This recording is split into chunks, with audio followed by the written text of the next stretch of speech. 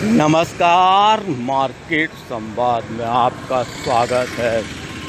गणेश उत्सव की धूम मची है और घर घर भगवान श्री गणेश विराजमान है।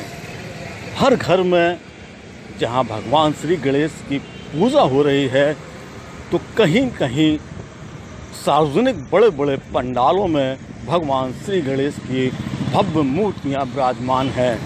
हम आपको उत्तर प्रदेश के झांसी के कुछ सार्वजनिक पंडालों का दर्शन करा रहे हैं, जहाँ आपको भगवान श्री गणेश की विभिन्न आकृतियों की प्रतिमाएँ देखने को मिलेंगी और उनके आकर्षक छटा बिखेर की कलाएँ दिखाई देगी। ये जो आप देख रहे हैं सीपरी बाज़ार की छोटी माता मंदिर का पंडाल है, जहाँ आप देख सकते हैं कि भगवान श्री गणेश कितनी विशाल प्रतिमा के साथ किस भव्यता से यहाँ पर विराजमान है और यहाँ सैकड़ों की संख्या में श्रद्धालु रात के समय आरती में शामिल होते हैं। काफ़ी अच्छी सजावट यहाँ पर की गई है। इसके अलावा यह जो आप नज़ारा देख रहे हैं यह सिपरी बाज़ार में गुरुद्वारा के ठीक सामने केवल दूध वाले की जो राह गली है, उस गली में एक बड़ा पंडाल लगाया गया है भगवान श्री गणेश का। यहाँ की सजावट आप देखेंगे, काफ़ी अच्छी ये देख सकते हैं। यहाँ पंडाल में भगवान श्री गणेश की भव्य प्रतिमा है और रात का जब यहाँ पर साढ़े आठ बजे आरती होती है तो बहुत मोहक नज़ारा होता है। मूर्ति बहुत आकर्षक है।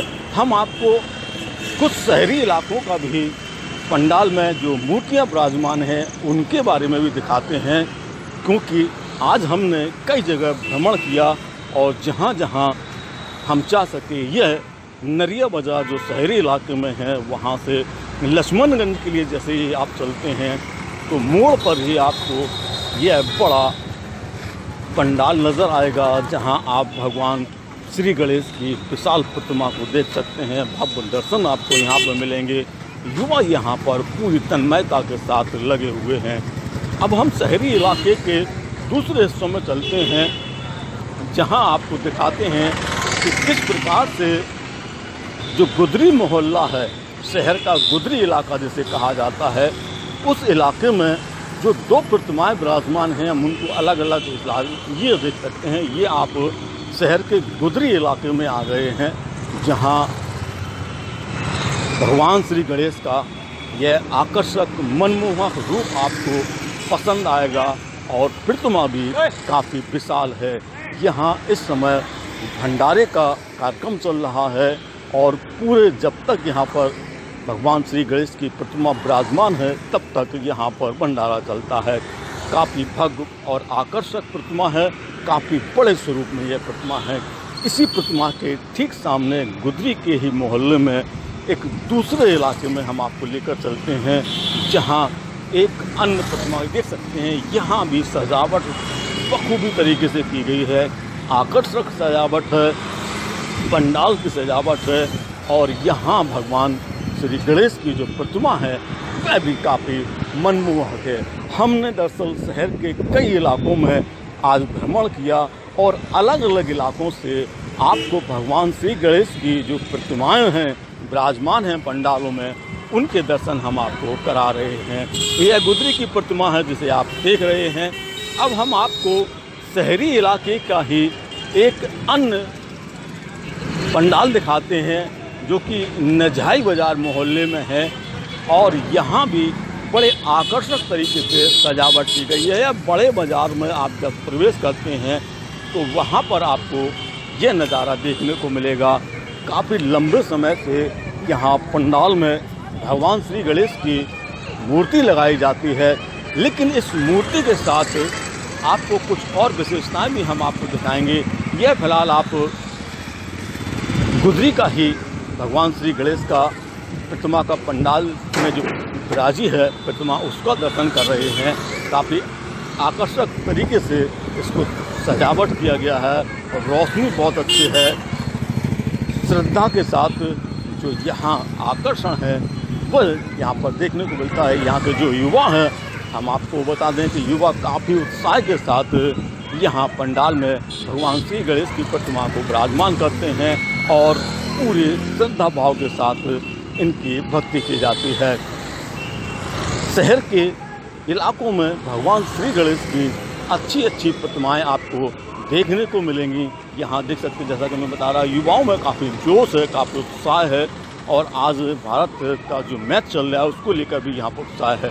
अब हम आपको ये नजाए बाज़ार वाले इलाके की जहाँ प्रतिमा की हम आपसे बात कर रहे थे, हम आपको दिखाते हैं। और यहाँ पर भगवान श्री गणेश के साथ राधा कृष्ण और माँ दुर्गा की भी प्रतिमा आपको नज़र आएगी, जो कि आपको अन्य कहीं नहीं। यहाँ पर सबसे पहले आप देखेंगे, ये जो हमारे गजानन की सवारी है, वह मूसक आपको नज़र आएगा। और उसके सामने आप देखेंगे तो भगवान श्री गणेश राधिका और भगवान श्री कृष्ण के साथ में माँ दुर्गा की भी भव्य प्रतिमा यहाँ पर विराजमान की गई है और ये पिछले काफ़ी समय से जैसा कि मैंने आपको बताया, यहाँ पर विराजमान की जाती है।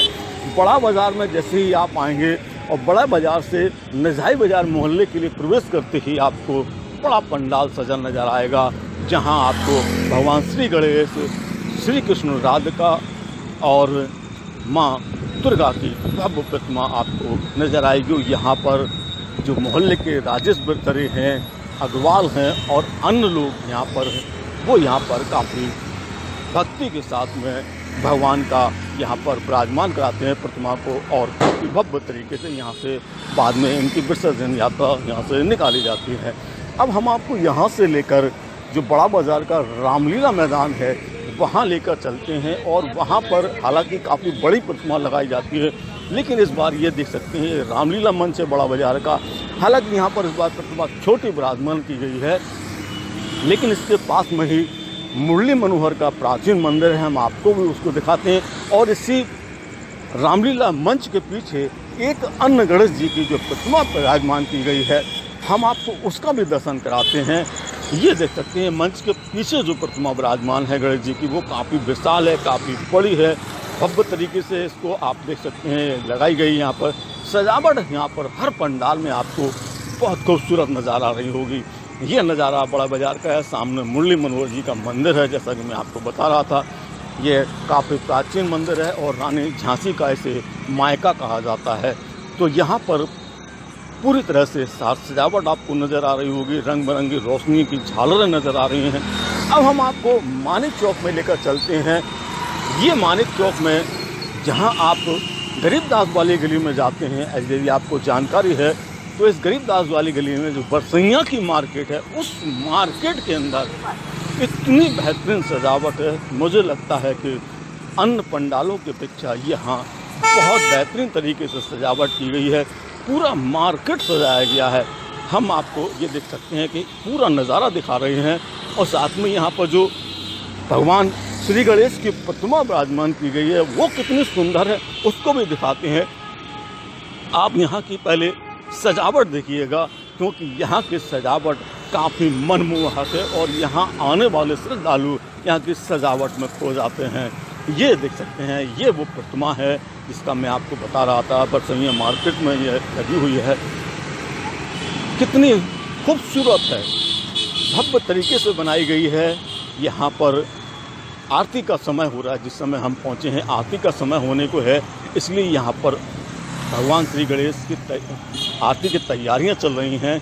और हम ज़्यादा देर इस प्रतिमा को आपको नहीं दिखा पाए, लेकिन यहाँ की सजावट आपको ज़रूर मन मोह लेगी इसके साथ में हम आपको अब पचकुइयाँ पर पचकुइया माता का जो मंदिर है, यहाँ पर जो भगवान श्री गणेश की प्रतिमा विराजमान की गई है, उसका नज़ारा दिखा रहे हैं, क्योंकि भगवान श्री गणेश की यहाँ काफ़ी विशाल प्रतिमा लगाई गई है। इसके अलावा आपको हम पचकुइया वाली माता के मंदिर के भी दर्शन कराते हैं, क्योंकि यहाँ आने पर अगर आप माता जी के मंदिर के दर्शन ना कर सकें तो यह हमारे लिए ठीक नहीं होगा।